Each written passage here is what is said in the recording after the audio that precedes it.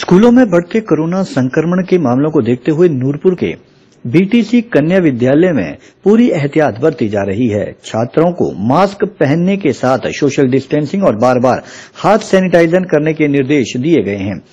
School की principal ने बताया कि स्कूल में कोरोना संक्रमण के मामलों को देखते हुए यहाँ पर सतर्कता बढ़ती जा रही है। उन्होंने बताया कि स्कूल के टीचर छात्रों को कोरोना संक्रमण से बचाव के लिए जागरूक कर रहे हैं। साथ ही छात्रों को बताया जा रहा है कि घर से स्कूल आते समय मास्क न उतारें, कक्षाओं में भी उचित दूरी बनाकर रखें, खाना खाते समय एक दूसरे से दूरी बनाए रखें। साथ ही उन्हें बार बार हाथ सैनिटाइजेशन करने को भी कहा जा रहा है। उन्होंने बताया कि हर स्कूली छात्रा को थर्मल स्क्रीनिंग के बाद ही स्कूल में प्रवेश दिया जा रहा है। अगर कोई छात्रा सर्दी जुकाम से पीड़ित है तो उसके परिजनों को बुलाकर उसे घर भेजा जाएगा। वहीं अगर कोई अध्यापक कोरोना संक्रमित आता है तो उन्हें भी आइसोलेट किया जाएगा। सर, बात ऐसी है कि कोरोना के इस काल में जो अभी बच्चों के लिए बहुत बार बार चेतावनी दी जा रही है कि बच्चों की सुरक्षा रखें। जितने केसेस हमारे विद्यालयों में आ रहे हैं आसपास, उसको लेकर के हमारे बच्चे भी सचेत हो चुके हैं क्योंकि हर अध्यापक जो है अपनी अपनी कक्षा कक्ष के भीतर बच्चों को बार बार इसके प्रति सचेत करता है कि आप सुरक्षित रहें और कैसे सुरक्षित रहना है। चलते फिरते कहीं भी घर से निकलते समय और अपनी संस्था तक पहुँचते समय अपने मास्क को नहीं उतारना है। अपने हाथों को सैनिटाइज करना है और जहाँ तक विद्यालय के अंदर की बात है तो विद्यालय में हमारे सैनिटाइजर मशीनें लगी हुई हैं और फुट पंप अलग से रखे हुए हैं हर कैंपस के भीतर और हमारे जो शौचालय है उसके भीतर सफ़ाई प्रॉपरली करवाई जाती है ताकि बच्ची जब शौचालय यूज़ करती है तो वहाँ पर वो इन्फेक्टेड ना हो। वहाँ सैनिटाइज करवाया जाता है, जो हमारे पंप है पीएन हमारा जो है चतुर्थ श्रेणी कर्मचारी, उससे कमरों को सैनिटाइज करता है। दोपहर के बाद भी किया जाता है। और जब बच्चे लंच करते हैं लंच में भी हमारे स्टाफ का रेंडमली उनके ऊपर पहरा रहता है, वो राउंड करते हैं कि कब बच्चा खाना खा रहा है और कब वो ग्रुप में ना बैठे और अपना मास्क ऊपर रख करके वो आराम करे, अपने अलग अलग दूर दूर बैठ करके। बातचीत भी करनी हो तो दूर बैठ के करें, दूरी बना करके रखें। अब बच्चे भी कई बार डर जाते हैं इस चीज़ से तो हमने बच्चों को ये कह रखा है हमारा सारा स्टाफ बल्कि कहता है थर्मल स्कैनिंग के वक्त भी ये चीज़ चेक की जाती है कि अगर कोई बच्चा सर्दी जुकाम से पीड़ित है और स्कूल आ चुका है तो उसे हम उसके पेरेंट्स को बुला करके उसके साथ जो है घर भेज देते हैं।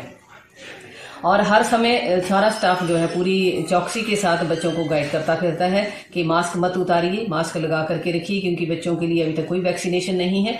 तो ये सबसे बड़ा इनका सुरक्षा कवच है, जिसे ये पहन करके रखते हैं। और बहुत सारे बच्चे अपने व्यवहार में ये चीज़ें ला चुके हैं। क्योंकि वो बीमार नहीं होना चाहते, वो पढ़ना चाहते हैं, जैसे कि उनके विचार जो है हम सुनते रहते हैं कि मैडम जी स्कूल बंद तो नहीं होंगे, अब फला स्कूल दो दिन के लिए बंद हो गया तो वो उसी अवस्था में बंद होगा जब हेल्थ की टीम यहाँ पर आएगी और सभी का चेक करेगी, ज़्यादा केसेस आते हैं तो नहीं तो जिस क्लास का कोई एक अदा बच्चा आता है तो उस क्लास के लिए ही हम, जैसा कि हमारे डिप्टी डायरेक्टर महोदय का निर्देश रहता है पूरा हिमाचल सरकार का निर्देश रहता है तो उसी हिसाब से हम बच्चों को और उस क्लास को जो छुट्टी कर देते हैं। अगर कोई टीचर पॉजिटिव आ जाता है तो उस टीचर को भी उसकी छुट्टी दे करके उसे घर पे रहने के, विश्राम करने की सलाह दी जाती है और उसकी छुट्टी जो है अलग से स्पेशल सैंक्शन के लिए भेजी जाती है।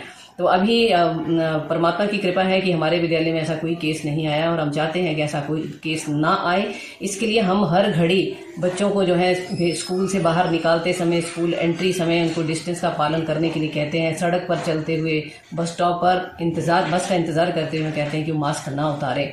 लेकिन हम वहाँ तक नहीं जा पाते, फिर भी हमारे जो सोशल सर्कल में कुछ हमारे एस से जुड़े हुए लोग हैं, वो जो है बस स्टैंड तक दौरा करते हैं और बच्चियों को समझाते रहते हैं। ऐसा सहयोग हमें एस से भी मिल रहा है।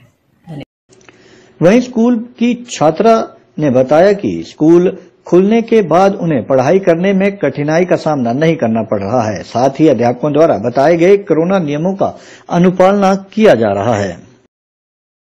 Plus two plus two medical की एक छात्रा जैसे कि आपको भी जानते हैं कोरोना काल कोरोना काल में अब हमारे स्कूल खुल गए हैं। तो हमें बहुत खुशी है कि कोरोना में हमारे स्कूल खुले रहे हैं। जैसे कि सभी टीचर्स क्लास में आकर हमें गाइड करते हैं कि दो गज की दूरी में और दो गज की दूरी बनाकर रखे। एक डेस्क में एक ही बच्चा बैठता है। सभी के पास अपने अपने सैनिटाइजर रहते हैं और हम सभी एक एक क्लास के बाद अपने हाथ को सैनिटाइज करते हैं। हमारे स्कूल में काफ़ी व्यवस्था है सैनिटाइजर की। सभी बच्चे घर जाते वक्त भी हाथ को सैनिटाइजर करते हैं। स्कूल में एंटर करते वक्त भी अपने हाथ को सैनिटाइजर करते हैं। और घर जाते वक्त हम दो गज की दूरी बनाकर स्कूल से बाहर निकलते हैं और स्कूल में एंटर करते समय भी हम दो गज की दूरी बनाकर रखते हैं। हम सरकार से यही रिक्वेस्ट करते हैं कि हमारे स्कूल बंद ना करें। हमें स्कूल में आकर काफ़ी खुशी होती है। हम ऑनलाइन पढ़ाई के, ऑनलाइन पढ़ाई के अलावा हमें क्लास में काफ़ी समझ आता है और हम क्लास में पढ़ाई को अच्छे से कवर कर सकते हैं।